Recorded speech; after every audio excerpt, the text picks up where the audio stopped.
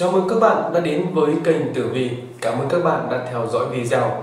Các bạn nhớ ấn vào nút đăng ký, đồng thời ấn vào biểu tượng hình quả chuông để không bỏ lỡ những video mới nhất, hấp dẫn nhất từ kênh Tử Vi nhé. Tử vi tháng 5 âm lịch của những người tuổi thìn Tháng mới, quan đới phù trợ, may mắn, thành công Kính thưa quý vị và các bạn, những người tuổi thìn khi bước vào tháng 5 âm lịch với cục diện quan đới phù trợ sẽ khiến sự nghiệp của những người này có những bước phát triển rõ rệt. Còn giáp tuổi thìn hãy luôn duy trì trạng thái thăng hoa, tích cực, hàng hái, hứa hẹn sẽ nhiều thành công đến với những người tuổi thìn. Tất nhiên, những thành quả tốt đẹp sẽ không tự động tìm tới bạn bạn cần phải luôn quyết tâm, cố gắng thì mới có thể đạt được điều mà mình mong muốn. Tài lộc trong tháng này nhìn chung cũng khá dư giả chủ yếu là do công việc thuận lợi cho nên bạn không thiếu các khoản tăng lương thưởng nóng. Với những người làm ăn kinh doanh, có thể bạn chưa thu được quá nhiều lợi nhuận, thế nhưng vẫn đang trong giai đoạn bắt đầu gây dựng sự nghiệp hoặc là lấy danh tiếng những dấu hiệu phát triển tích cực sẽ giúp cho những người tuổi thìn có thêm rất nhiều niềm vui trong tháng năm âm lịch này. Để tìm hiểu chi tiết hơn về tử vi tháng năm âm lịch của những người tuổi thìn sẽ như thế nào, thì ngày hôm nay kênh tử vi xin kính mời quý anh chị và các bạn chúng ta cùng nhau đi tìm hiểu ở trong video dưới đây nhé. Tổng quan về tháng năm âm lịch trong dân gian, tháng năm âm lịch hay còn gọi là tháng ngọ được ông bà ta gọi với cái tên đó là tháng cửu độc hay còn biết đến là tháng có rất nhiều những điểm báo, điểm không may, xui xẻo kéo tới. Tháng 5 âm lịch năm 2023 Quý Mão bắt đầu từ ngày 18 tháng 6 năm 2023 cho đến ngày 18 tháng 7 năm 2023 dương lịch tháng năm âm lịch rơi vào tháng mậu ngọ thuộc tiết màng trùng. Từ xa xưa, vào tháng năm âm lịch, con người chúng ta mắc đủ thứ bệnh nên mới xuất hiện quan niệm về tháng độc. Tháng này là tháng chủ về hành hòa, trở nên vô cùng mạnh mẽ, dương khí đạt tới cực đỉnh và phát tán ra bên ngoài. Các hoạt động như ăn uống đồ lạnh, da mối trộm hoặc sinh hoạt tình dục đều có thể dễ khiến tiêu hao rất nhiều năng lượng. Thời điểm này cũng trùng với mùa mưa, nhiệt độ tăng cao, không khí ẩm ướt, năng lượng bị tắc nghẽn, ta khí gặp ẩm thấp lại càng sinh sôi. Một khi nhiệt ẩm làm tắc kinh mạch khí huyết thì sự trao đổi chất của cơ thể con người cũng rất khó lưu thông, khí huyết bị ngưng trệ, sinh ra rất nhiều bệnh tật. Tháng năm âm lịch có 9 ngày được gọi là 9 ngày độc trong tháng. Đó là ngày mùng 5, mùng 6, mùng 7, ngày 15, 16, 17 cùng với ngày 25, 26 và 27. Đây là những ngày mà trong dân gian đôn đại là thời điểm thiên địa giao thái, cửu độc nhật. Các loại độc trong trời đất sẽ cùng tụ lại vào những ngày này. Ngoài ra, còn có ngày 14 âm lịch cũng được liệt vào những ngày cấm kỵ trong những ngày này, chúng ta thường phải khiêm nhường đoan tràn, cấm kỵ sát sinh, hành lạc, nếu không sẽ tổn hao nguyên khí vô cùng nghiêm trọng. Ngày thiên địa giao thái được tính là thời điểm do tý của ngày 14 tháng 5 âm lịch là lúc mà tứ thiên vương tuần hành. 9 ngày này là 9 ngày cửu độc và ngày 14 tháng 5 là ngày trời đất giao thái. 9 ngày thường tích hao tổn sức lực và sinh khí được gọi là 9 ngày độc trong thời cổ đại. Luận theo tiết khí thì tháng 5 âm lịch là thời điểm mà dương khí cực vượng tăng tiến tới đỉnh điểm và bắt đầu sinh phát. Người ta gọi đây là thời điểm thiên địa giao thái. Trong vũ trụ, hai nguồn khí âm dương pha trộn vào với nhau không thể phân biệt. Loài người lại được coi là linh khí của vạn vật do hai nguồn khí âm, khí dương hợp lại mà thành. Và lẽ đương nhiên, khi hai nguồn khí này có sự thay đổi, sẽ ảnh hưởng trực tiếp đến cơ thể con người, gây ra đủ loại phản ứng cả tiêu cực lẫn tích cực. Trong các cổ thư về đông y thì tháng năm âm lịch thực tế được dùng để chỉ rằng từ tiết mang trùng tính cả 3 tháng là tháng tỵ, tháng ngọ và tháng mùi đây là thời điểm mà dương khí trong cơ thể con người bị phát tán ra bên ngoài, tất nhiên sẽ khiến cho con người rơi vào tình trạng suy kiệt. Lúc này, các cơ quan nội tạng bên trong cơ thể sẽ bị yếu đi, dễ bị nhiễm hàn, ta khí bên ngoài cũng nhân cơ hội mà xâm nhập. Đặc biệt, đây là thời điểm mà vi khuẩn, vi sinh vật sinh sôi nảy nở, phát tán ra không khí. Tiến hành chuyện phòng the vào thời điểm này sẽ làm tổn hào dương khí con người. Nội khuyết âm khí, ngoại tán dương khí, ta khí bên ngoài vượn phát, việc động phòng sẽ gây rất nhiều bệnh tật.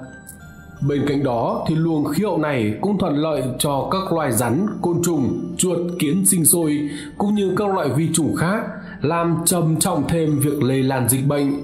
Vì vậy trong phong tục dân gian, người ta thường cắm những que ở trước cửa, uống rượu, ngâm mình trong bồn ngải cứu nhằm mục đích trừ tà, tẩy uế, giữ gìn sức khỏe trong tháng năm âm lịch. Theo truyền thuyết dân gian về ngày cửu độc không phải là không có lý. Người ta mong muốn chúng ta luyện tập thể dục thể thao để nâng cao khả năng để chống lại tất cả các loại bệnh tật.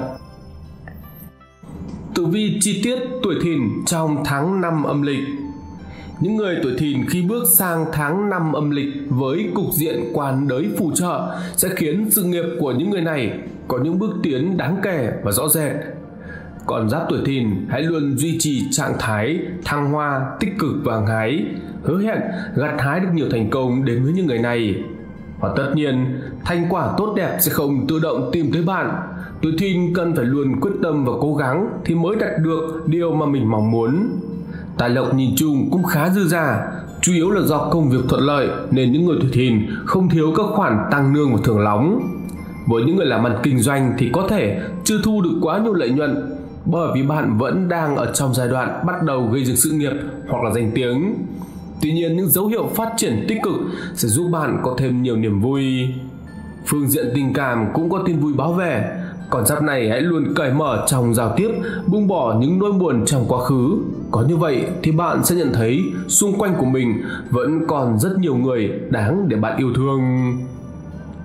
Chi tiết về phương diện sự nghiệp của những người tuổi thìn Tháng năm âm lịch, người tuổi thìn có nguyệt lệnh quan đới nâng đỡ, vận trình của những người này sẽ trở nên hành thông hơn khoảng thời gian trước đó rất nhiều. Chỉ cần tuổi thìn bỏ công sức thì át sẽ thu được thành quả xứng đáng. Với những người vừa bắt đầu đi làm hoặc đang trong quá trình và tiếp xúc với nội dung công việc mới thì họ hãy luôn cảm thấy hăng hái muốn thể hiện hiểu biết của bản thân mình Do đó, tuổi thìn hãy không ngại leo lên những suy nghĩ của mình, đóng góp cho mọi người những ý kiến của mình.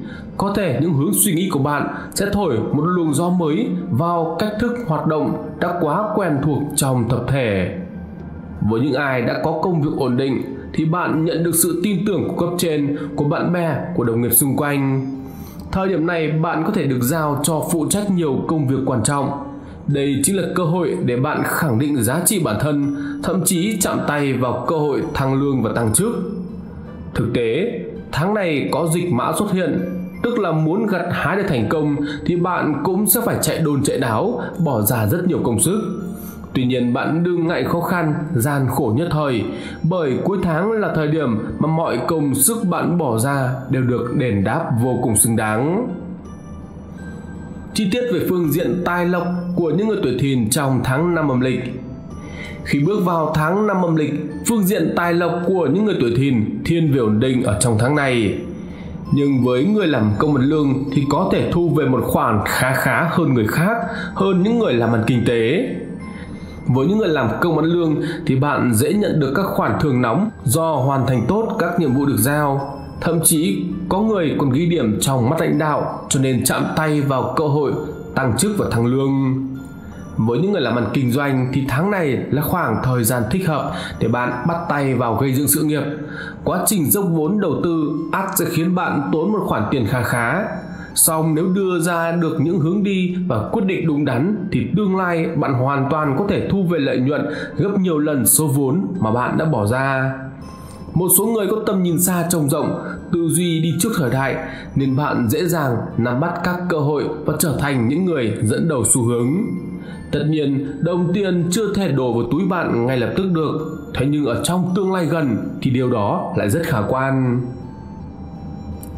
chi tiết về phương diện tình duyên tình cảm của những người tuổi thìn trong tháng năm âm lịch Phương diện tình duyên tình cảm của những người tuổi thìn sẽ nhận được rất nhiều tin vui báo về.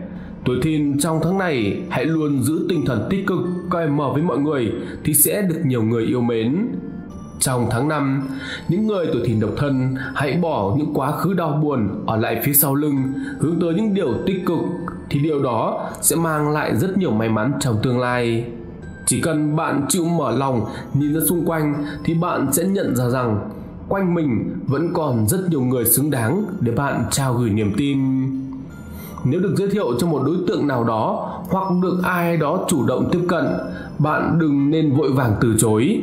Hãy thử dành thời gian trò chuyện, gặp mặt trực tiếp đối phương.